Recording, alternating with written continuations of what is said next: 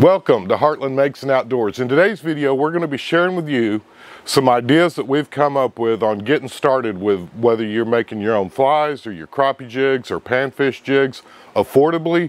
We got some new ideas. We've also got some comments from our viewers and we've also potentially found something that may be able to save you hundreds of dollars getting started in tying and making your own jigs. So let's get to the video.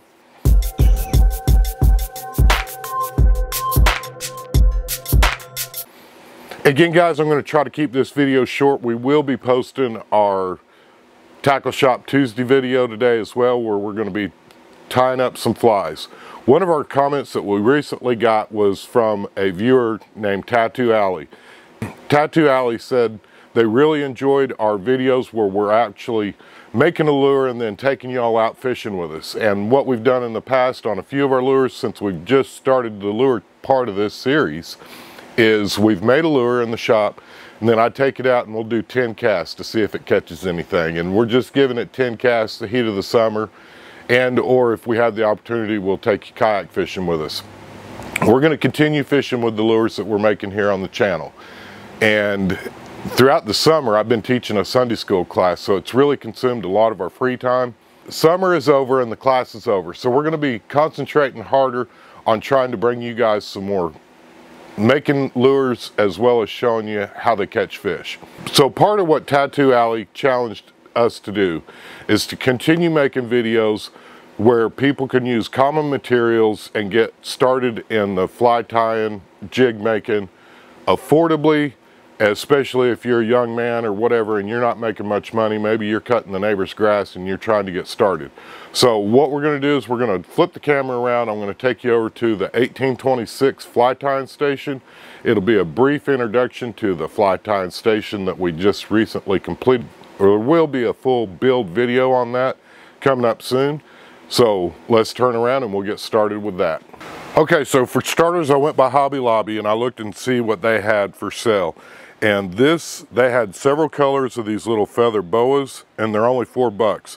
Guys, as you can see, I've already started cutting on this one end over here, and that's gonna be that's gonna be able to make a ton of flies. Chartreuse is a great color, and I'm telling you, I know that you can buy the little bags of the feathers, and, and not all feathers are equal, but these are perfect for the 116th, the 132nd, and maybe even a hair bigger jigs.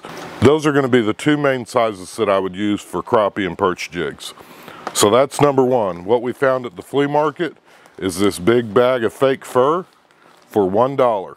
And I'm telling you, you could probably make a thousand of these flies or jigs with this bag of fur. Now, yes, it is white, but that's another thing that makes this kind of fun. I don't see any reason in the world why we couldn't paint these or use a marker and change it from white to red or blue or chartreuse or whatever we choose. But we will be using some of this, again, $1 for a great big bag. That's gonna last a lifetime. That's gonna be way more than we need.